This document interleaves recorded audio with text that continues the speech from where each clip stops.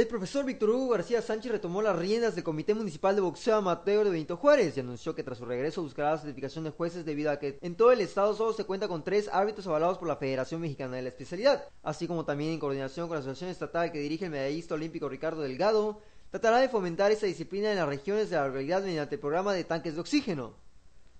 Vamos a empezar a, trabajar duro con la gente. Eh, lo primero que vamos a hacer es eh, reorganizar todo lo que es el comité municipal. Eh, vamos a invitar gente para, para que formen parte del comité directivo. También vamos a regularizar a todos los gimnasios este, que hay en el municipio para que ya estén registrados debidamente ante el instituto.